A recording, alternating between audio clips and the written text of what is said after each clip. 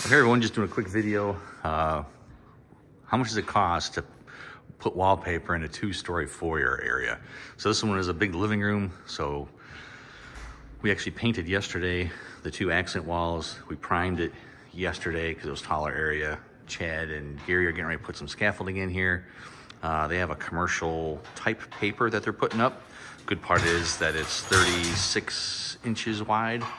Um, so it's not too huge, so we don't need the huge paste machine, but we're still gonna use a paste machine because of how big it is. Um, they're putting up scaffolding for this, so I have two tiers of scaffolding plus uh, the guard that's on top.